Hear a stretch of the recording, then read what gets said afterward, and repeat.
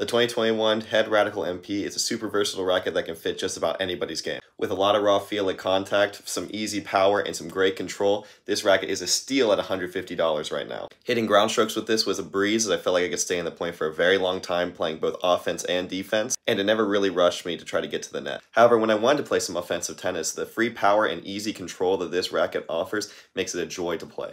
At net, the feel and maneuverability were excellent. However, the stability is a little bit low. You just need to add some lead to fix that. Serving with this is still great because of that raw connected feel. However, it does lack a little bit of power, which can easily be fixed with some lead around 12 o'clock or around the 3 and 9 position. So if you're looking for a super versatile racket that can fit just about anybody's game and has that nice raw feel,